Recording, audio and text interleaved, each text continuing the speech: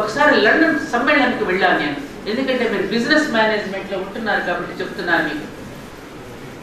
మేమందరం హోటల్ రూమ్స్లో దిగాం. మళ్ళీ మీటింగ్ అయిపోతుంది మమ్మల్ని వచ్చేమని ప్రెజర్ పెడితే త్వరగా రండి కోచ్ బయలుదేరుతుంది రండి అంటే మాతో పాటు జి పుల్లారెడ్డి గారి పేరు ఉంటారు స్వీట్స్ పుల్లారెడ్డి గారు. ఆయన లోపలికి వెళ్ళి ఫ్యాన్లన్నీ ఆఫ్ చేసి లైట్లన్నీ ఆఫ్ చేసి ఆ రూమ్లో అన్ని సామాన్లు ఎక్కడొక్కడ పెట్టేసి చక్కగా వస్తున్నారు. నీళ్ళు కొడాయిలన్నీ కట్టే సామాన్లు ఏదో నీళ్ళు ఎక్కడన్నా లీక్ అవుతున్నాయి? అందులో ఉన్న నార్త్ ఇండియా నుంచి వచ్చిన ఒక డెలిగేట్ ఎందుకు పుల్లారెడ్డి గారు హోటల్కి బిల్లు కడుతున్నాం వాళ్ళే చూసుకుంటారు ఇవన్నీ మీకు వచ్చేసేంటి వచ్చేసేయండి? టైం అయిపోతుంది అన్నాడు ఆయన ఆయన చదువుకున్నది నాలుగవ తరగతి. ఇలా అన్నారు. ఇదేనయ్యా మీ చదువుకున్నాడు అసలు ఏమాత్రం ఆలోచించరు? అక్కడ కొడాయిలో నీళ్ళు పోతే ఎవరికి నష్టం? అక్కడ కరెంటు వృధా అయితే ఎవరికి నష్టం?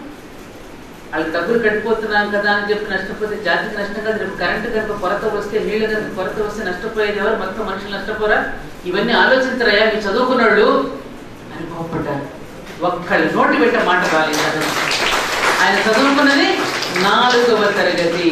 ఆయన పెంచినటువంటి బిజినెస్ స్వీట్ షాపుతో మొదలుపెట్టి ముందు టీ కాఫీలు అమ్మి దుప్పట్లు అమ్మి చీరలు అమ్మి చిన్న పట్టీ కొట్టు పెట్టి వ్యాపారంలో కూడా సమాజ స్పృహ అనేటటువంటిది చాలా అవసరం.